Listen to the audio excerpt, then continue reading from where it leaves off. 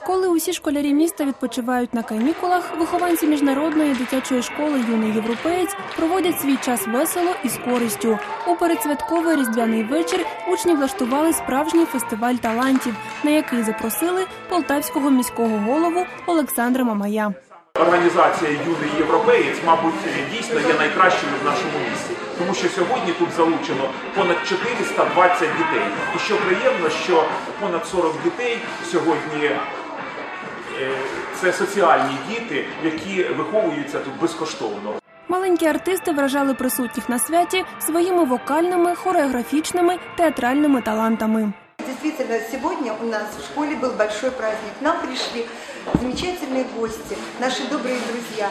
И вы знаете, сегодня все дети получили замечательные подарки. Вот, а в наше нелегкое, сложное время это на самом деле очень-очень приятно. Проте сюрпризи на цьому не закінчилися. З початком нового навчального семестру міжнародна дитяча школа Юний європеєць отримає великий плазмовий телевізор.